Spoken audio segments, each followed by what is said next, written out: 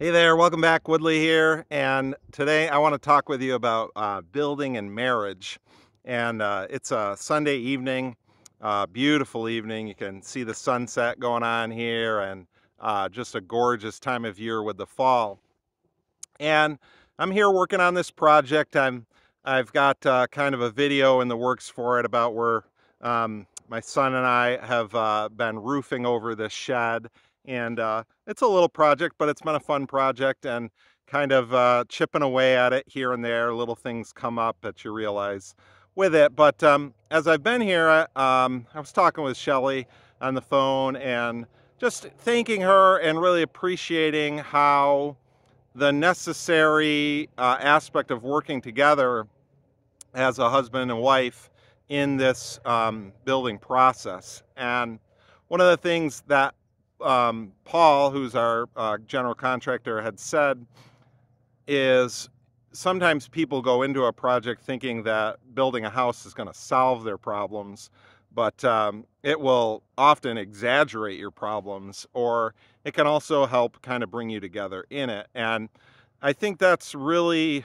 um, helpful to understand and to kind of appreciate the different um, roles that you each have in that process of, you know, who's going to make the um, kind of the the communication um, with different people, who's going to make what decisions and where are those decisions going to be made, how are you going to make those decisions together, and uh, it takes a lot, lots of conversations, and you know, sometimes for us now, like we've got to kind of talk through some stuff, and there isn't always or seldom does it seem like there's a great time to have those conversations. You know, you got bedtimes and, um, you know, kids and all of this stuff that's going on. And you just are working through it the best you can.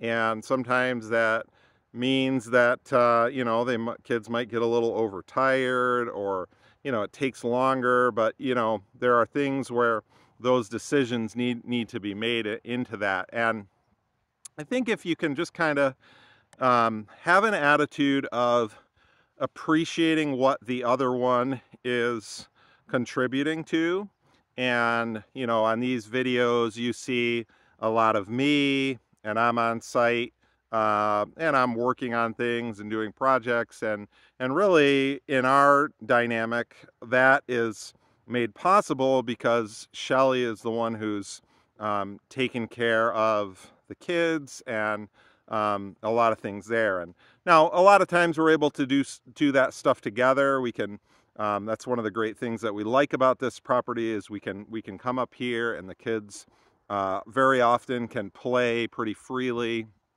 And so you can kind of accomplish both of those things um, at the same time. So it's not just all one or the other, but um, you know, you're really into it. And it's, it's sort of this, this principle of uh, marriage that I think is a really is a really the right approach in my opinion is that that the mindset of it's it's not 50-50 it's um, you know you're both all in on what you're doing.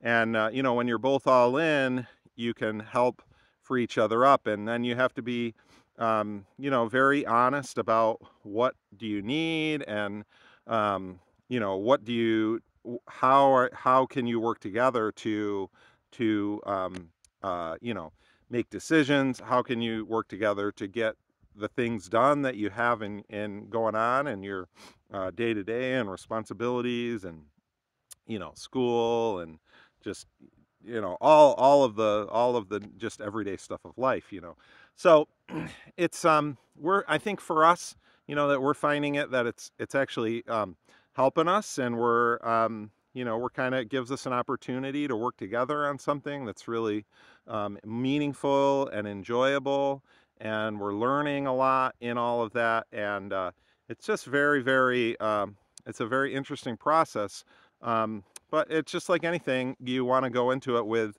with your eyes wide open. So I um, I've got this other you know kind of roof video in there but it's taken a little while and I I haven't um, I haven't posted in about a week, and so I wanted to uh, just just reflecting on that and thought, you know, this this might be uh, this might be helpful for people. as you're as you're working through um, these things. So anyway, let me know what you think, and uh, if you have your own thoughts on that, I'd love to hear them. Feel free to uh, leave a comment, and uh, catch you on the next one. Thanks.